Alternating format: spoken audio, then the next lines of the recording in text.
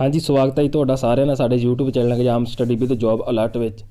ਵਿਸ਼ਾ ਹੈ ਜੀ ਮਾਸਟਰ ਕੇਡਰ ਹਿਸਟਰੀ ਭਾਗ 5ਵਾਂ MCQ ਪ੍ਰਸ਼ਨ ਲੈ ਕੇ ਆਏ ਆ ਸਟਾਰਟ ਕਰਨ ਤੋਂ ਪਹਿਲਾਂ ਜੇਕਰ ਤੁਸੀਂ ਸਾਡੇ ਚੈਨਲ ਤੇ ਪਹਿਲੀ ਵਾਰ ਆਏ ਹੋ, ਤਾਂ ਚੈਨਲ ਨੂੰ ਸਬਸਕ੍ਰਾਈਬ ਜ਼ਰੂਰ ਕਰ ਲਿਓ, ਤਾਂ ਹੀ ਤੁਹਾਨੂੰ ਇਸੇ ਤਰ੍ਹਾਂ ਕੁਐਸਚਨਾਂ ਦੀ ਅਪਡੇਟ ਹੈ ਜੋ ਮਿਲਦੀ ਰਹੇ।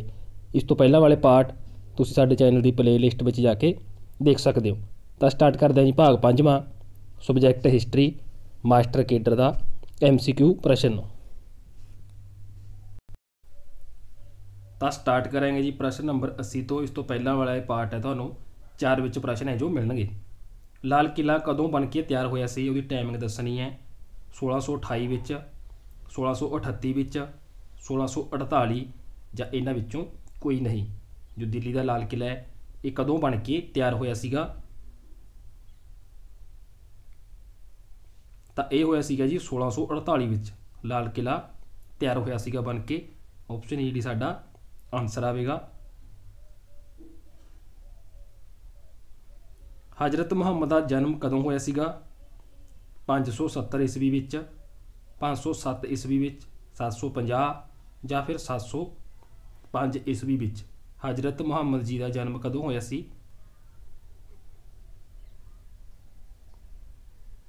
ਤਾਂ ਉਹ ਹੋਇਆ ਸੀਗਾ ਜੀ ਆਪਸ਼ਨ ਊੜਾ 570 ਈਸਵੀ ਵਿੱਚ ਹੈ ਜੋ ਹਜ਼ਰਤ ਮੁਹੰਮਦ ਦਾ ਜਨਮ ਹੋਇਆ ਸੀਗਾ। ਮੁਹੰਮਦ ਸਾਹਿਬ ਦਾ ਜਨਮ ਕਿਸ ਸਥਾਨ ਤੇ ਹੋਇਆ ਸੀਗਾ? ਮੱਕਾ, ਮਦੀਨਾ, ਕਾਬਲ ਜਾਂ ਫਿਰ ਬਗਦਾਦ? ਇਹਨਾਂ ਦਾ ਜਨਮ ਹੈ ਜੋ 570 ਚ ਹੋਇਆ ਸੀਗਾ। ਸਥਾਨ ਕਿਹੜਾ ਸੀ? ਤਾਂ ਉਹ ਸੀ ਮੱਕਾ। 570 ਵਿੱਚ ਹਜ਼ਰਤ ਮੁਹੰਮਦ ਜੀ ਦਾ ਜਨਮ ਹੋਇਆ ਸੀਗਾ ਮੱਕਾ ਵਿਖੇ। ਇਹਨਾਂ ਦਾ ਜਨਮ ਹੋਇਆ ਸੀ 570 ਵਿੱਚ।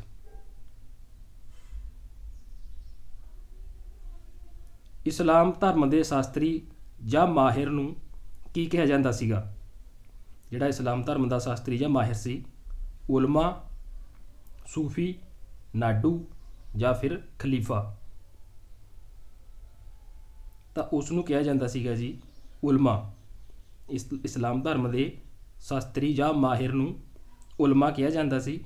ਆਪਸ਼ਨ ਊੜਾ ਸਾਡਾ ਆਨਸਰ ਆਵੇਗਾ। ਦਿੱਲੀ ਸਲਤਨਤ ਸਮੇਂ ਦਾ ਪ੍ਰਸਿੱਧ ਸੂਫੀ ਸੰਤ ਕੌਣ ਸੀਗਾ? ਸ਼ਾਹ ਹੁਸੈਨ, ਬੁੱਲੇ ਸ਼ਾਹ, ਹਾਸਮ ਜਾਂ ਫਿਰ ਨਿਜ਼ਾਮੂਦੀਨ ਔਲੀਆ? ਦਿੱਲੀ ਸਲਤਨਤ ਵਿੱਚ ਪੁੱਛਿਆ ਗਿਆ ਹੈ, ਪ੍ਰਸਿੱਧ ਸੂਫੀ ਸੰਤ। ਉਸ ਸਮੇਂ ਦਾ ਕੌਣ ਸੀ? ਜਦੋਂ ਦਿੱਲੀ ਸਲਤਨਤ ਸੀ।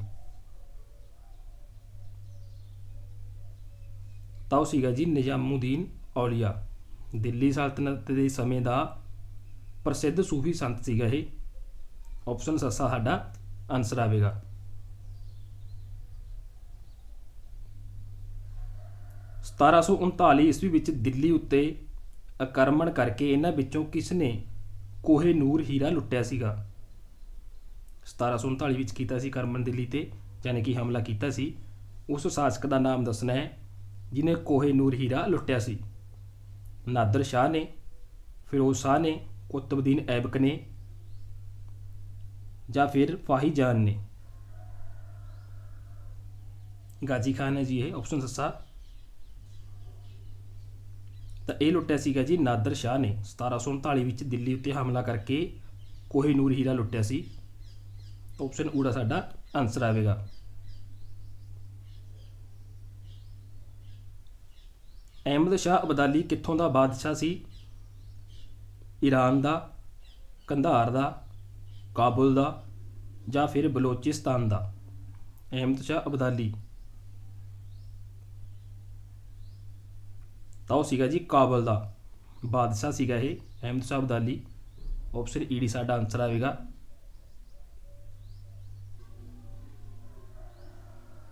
ਸੂਫੀਆਂ ਦੇ ਚਿਸ਼ਤੀ ਸਿਲਸਿਲੇ ਦੀ ਨੀਂਹ ਕਿਸ ਨੇ ਰੱਖੀ ਸੀ? ਖਵਾਜਾ ਮੋਇਉਦੀਨ ਨੇ, ਸ਼ੇਖ ਭਾਉਦੀਨ ਨੇ, ਸ਼ੇਖ ਫਰੀਦ ਨੇ ਜਾਂ ਇਹਨਾਂ ਵਿੱਚੋਂ ਕੋਈ ਨਹੀਂ। ਸੂਫੀਆ ਚਿਸ਼ਤੀ ਸਿਲਸਿਲੇ ਦੀ ਨੀਂਹ ਦੱਸ ਪੁੱਛਣਾ ਹੈ, ਪੁੱਛਿਆ ਕਿਸ ਨੇ ਰੱਖੀ ਸੀ? ਤਾਂ ਉਹ ਰੱਖੀ ਸੀ ਜੀ ਆਪਸ਼ਨ ਊੜਾ ਖਵਾਜਾ ਮੋਇਉਦੀਨ ਨੇ ਸੂਫੀਆ ਦੇ ਚਿਸ਼ਤੀ ਸਿਲਸਿਲੇ ਦੀ ਨੀਂਹ ਰੱਖੀ ਸੀ।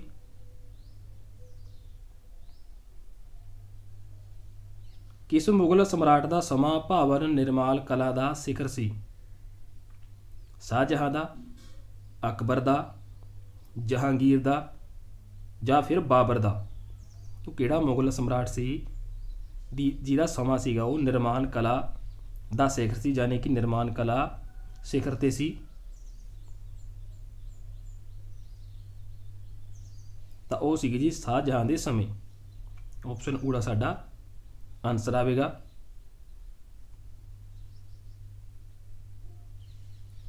ਅਕਬਰ ਦਾ ਮਕਬਰਾ ਕਿਸ ਸਥਾਨ ਤੇ ਹੈ?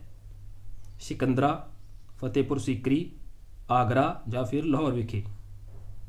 ਬਾਦਸ਼ਾਹ ਅਕਬਰ ਦਾ ਮਕਬਰਾ ਦੱਸਣਾ ਹੈ, ਕਿਹੜੇ ਸਥਾਨ ਤੇ ਹੈ? ਤਾਂ ਇਹ ਹੈ ਜੀ ਸਿਕੰਦਰਾ ਵਿਖੇ। ਆਪਸ਼ਨ ਊੜਾ, ਸਾਡਾ ਆਨਸਰ ਆਵੇਗਾ। ਅਗਲਾ ਪ੍ਰਸ਼ਨ ਹੈ ਜੀ, ਰਜੀਆ ਸੁਲਤਾਨ ਇਲਤੁਤਮਿਸ ਦੀ ਕੀ ਲੱਗਦੀ ਸੀ? ਭਤੀਜੀ, ਬੇਟੀ, ਪਤਨੀ ਜਾਂ ਫਿਰ ਪਰਜਾਈ ਰਜੀਆ ਸੁਲਤਾਨ ਬਾਦਸ਼ਾਹ ਇਲਤੁਤਮਿਸ ਦੀ ਕੀ ਲੱਗਦੀ ਸੀ, ਕੀ ਰਿਲੇਸ਼ਨ ਸੀ ਇਹਨਾਂ ਦਾ? ਤਾਂ ਉਹ ਸੀ ਜੀ ਬੇਟੀ। ਰਜੀਆ ਸੁਲਤਾਨ ਇਲਤੁਤਮਿਸ ਦੀ ਬੇਟੀ ਸੀ। ਇਲਤੁਤਮਿਸ ਦੀ ਮੌਤ ਤੋਂ ਬਾਅਦ ਹੈ ਜੋ ਰਜੀਆ ਸੁਲਤਾਨ ਨੇ ਗੱਦੀ ਸੰਭਾਲੀ ਸੀ।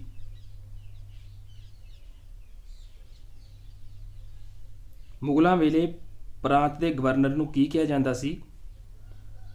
ਫੌਜਦਾਰ, ਸੂਬੇਦਾਰ, ਦੀਵਾਨ ਜਾਂ ਫਿਰ ਮੀਰ ਬਖਸ਼ੀ? ਮੁਗਲਾਂ ਵੇਲੇ ਦੀ ਗੱਲ ਕੀਤੀ ਗਈ ਹੈ। ਜੋ ਪ੍ਰਾਂਤ ਦਾ ਗਵਰਨਰ ਹੁੰਦਾ ਸੀ ਤਾਂ ਉਹਨੂੰ ਕੀ ਕਹਿੰਦੇ ਸੀ? ਤਾਂ ਉਸ ਨੂੰ ਕਿਹਾ ਜਾਂਦਾ ਸੀਗਾ ਜੀ ਸੂਬੇਦਾਰ। ਮੁਗਲਾ ਸਮੇਂ ਪ੍ਰਾਂਤ ਦੇ ਗਵਰਨਰ ਨੂੰ ਸੂਬੇਦਾਰ ਕਿਹਾ ਜਾਂਦਾ ਸੀ। ਆਪਸ਼ਨ ਆੜਾ ਸਾਡਾ ਆਨਸਰ ਆਵੇਗਾ। ਸਿਕੰਦਰ ਦੇ ਹਮਲੇ ਸਮੇਂ ਇਹਨਾਂ ਵੰਸ਼ਾਂ ਵਿੱਚੋਂ ਕਿਸ ਵੰਸ਼ ਦਾ ਰਾਜ ਸੀ? ਜਦੋਂ ਸਿਕੰਦਰ ਨੇ ਹਮਲਾ ਕੀਤਾ ਸੀ, ਤਾਂ ਉਦੋਂ ਕਿਹੜਾ ਵੰਸ਼ ਰਾਜ ਕਰਦਾ ਸੀ? ਨੰਦ ਵੰਸ਼, ਮੌਰੀਆ ਵੰਸ਼, ਸੁੰਗ ਵੰਸ਼ ਜਾਂ ਫਿਰ ਕਾਨਵਾ? ਤਾਂ ਉਸ ਸਮੇਂ ਜਿਹੜਾ ਵੰਸ਼ ਸੀਗਾ, ਉਹ ਨੰਦ ਵੰਸ਼ ਸੀਗਾ। ਜਦੋਂ ਸਿਕੰਦਰ ਨੇ ਹਮਲਾ ਕੀਤਾ ਸੀ, ਨੰਦ ਵੰਸ਼ ਰਾਜ ਕਰਦਾ ਸੀ। ਅਗਲਾ ਪ੍ਰਸ਼ਨ ਹੈ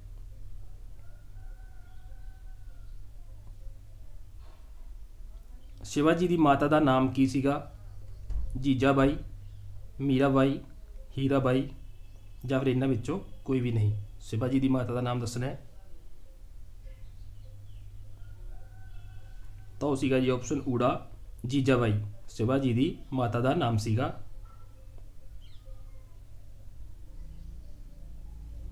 ਅਗਲਾ ਪ੍ਰਸ਼ਨ ਹੈ ਜੀ ਤਾਨਸੈਨ ਕਿਸ ਸਮਰਾਟ ਦਾ ਸਮਕਾਲੀ ਸੀ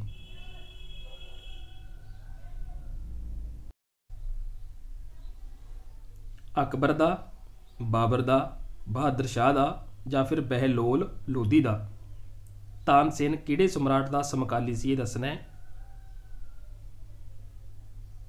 ਤਾਂ ਉਹ ਸੀਗਾ ਜੀ ਅਕਬਰ ਦਾ।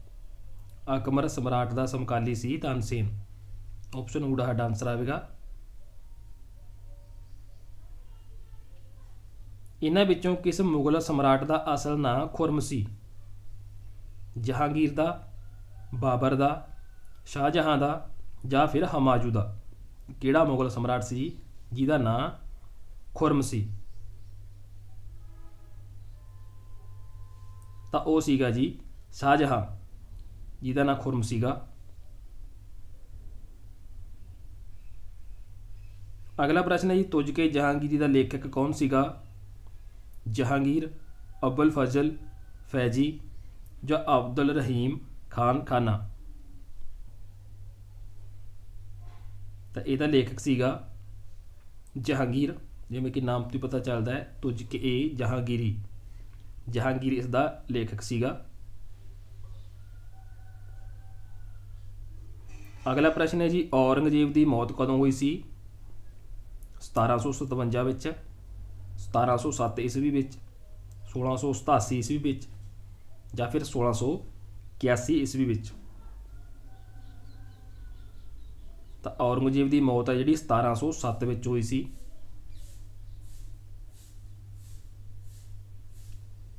ਸਿਕੰਦਰ ਦੇ ਹਮਲੇ ਸਮ- ਹਮਲੇ ਤੋਂ ਬਾਅਦ ਭਾਰਤ ਵਿੱਚ ਕਿਸ ਵੰਸ਼ ਦਾ ਰਾਜ ਸਥਾਪਿਤ ਹੋਇਆ ਸੀ ਮੌਰੀਆ ਵੰਸ਼ ਦਾ ਕੁਸ਼ਾਨ ਵੰਸ਼ ਦਾ ਗੁਪਤ ਵੰਸ਼ ਦਾ ਜਾਂ ਫਿਰ ਵਰਧਨ ਵੰਸ਼ ਦਾ ਜਦੋਂ ਸਿਕੰਦਰ ਨੇ ਹਮਲਾ ਕੀਤਾ ਸੀ ਇਸ ਤੋਂ ਬਾਅਦ ਭਾਰਤ ਵਿੱਚ ਕਿਹੜਾ ਵੰਸ਼ ਰਾਜ ਕਰਦਾ ਸੀ ਜਾਂ ਫਿਰ ਰਾਜ ਸਥਾਪਿਤ ਹੋਇਆ ਸੀ? ਤਾਂ ਉਹ ਹੋਇਆ ਸੀ ਮੌਰੀਆ ਵੰਸ਼ ਦਾ। ਸਿਕੰਦਰ ਦੇ ਹਮਲੇ ਤੋਂ ਬਾਅਦ ਭਾਰਤ ਵਿੱਚ ਮੌਰੀਆ ਵੰਸ਼ ਦਾ ਰਾਜ ਸਥਾਪਿਤ ਹੋਇਆ ਸੀ। ਆਪਸ਼ਨ ਊੜਾ ਸਾਡਾ ਆਨਸਰ ਆਵੇਗਾ। ਇਲਤੁਤਮਿਸ ਦਾ ਮਕਬਰਾ ਕਿਹੜੇ ਸ਼ਹਿਰ ਵਿੱਚ ਹੈ? ਦੌਲਤਾਬਾਦ, ਆਗਰਾ ਦਿੱਲੀ ਜਾਂ ਫਿਰ ਮੁਲਤਾਨ ਵਿੱਚ। ਤਾਂ ਇਹ ਮਕਬਰਾ ਹੈ ਜੀ ਦਿੱਲੀ ਵਿੱਚ। ਇਲਤੁਤਮਿਸ ਦਾ ਮਕਬਰਾ ਜਿਹੜਾ ਹੈ, ਉਹ ਦਿੱਲੀ ਸ਼ਹਿਰ ਵਿੱਚ ਹੈ। ਤੁਗਲਕ ਵੰਸ਼ ਦਾ ਬਾਨੀ ਕੌਣ ਸੀ? ਗਿਆਸੁਦੀਨ ਤੁਗਲਕ, ਮੁਹੰਮਦ ਬਿਨ ਤੁਗਲਕ, ਫਿਰੋਜ਼ ਸ਼ਾਹ ਜਾਂ ਇਹਨਾਂ ਵਿੱਚੋਂ ਕੋਈ ਨਹੀਂ। ਤੁਗਲਕ ਵੰਸ਼ ਦਾ ਬਾਨੀ ਦੱਸਣਾ ਹੈ। ਤਾਂ ਉਹ ਸੀਗਾ ਜੀ ਗਿਆਸੂਦੀਨ ਤੁਗਲਕ, ਜੋ ਤੁਗਲਕ ਵੰਸ਼ ਦਾ ਬਾਨੀ ਸੀ। ਸੋ ਦੋਸਤੋ ਅਗਲੇ ਪਾਰਟ ਤੇ ਅਗਲੇ ਪ੍ਰਸ਼ਨ ਸੀ। ਵੀਡੀਓ ਦੌਰਾਨ ਕਈ ਵਾਰ ਸਾਥੋਂ ਵੀ ਇਹ ਜੋ ਗਲਤ ਟਿਕ ਹੋ ਜਾਂਦਾ ਹੈ, ਤਾਂ ਅਗਰ ਤੁਹਾਨੂੰ ਲੱਗਦਾ ਕਿ ਇਸ ਪ੍ਰਸ਼ਨ ਦਾ ਇਹ ਆਨਸਰ ਰਾਈਟ ਹੈ, ਤਾਂ ਵੀਡੀਓ ਦੇ ਕਮੈਂਟ ਵਿੱਚ ਜਰੂਰ ਮੈਂਸ਼ਨ ਕਰ ਦਿਆ ਕਰੋ ਤੇ ਵੀਡੀਓ ਨੂੰ ਅੱਗੇ ਜ਼ਿਆਦਾ ਤੋਂ ਜ਼ਿਆਦਾ ਸ਼ੇਅਰ ਜਰੂਰ ਕਰ ਦਿਆ ਕਰੋ, ਤਾਂ ਜੋ ਹਰ ਤੱਕ ਇਸ ਸਟੱਡੀ ਦੀ ਵੀਡੀਓ ਪਹੁੰਚ ਸਕੇ। ਤਾਂ ਮਿਲਦੇ ਹਾਂ ਜੀ ਅਗਲੇ ਨਵੇਂ ਪ੍ਰਸ਼ਨ ਨਾਲ ਅਗਲੇ ਪਾਰਟ ਵਿੱਚ। ਉਦੋਂ ਤੱਕ ਲਈ ਧੰਨਵਾਦ ਜੀ।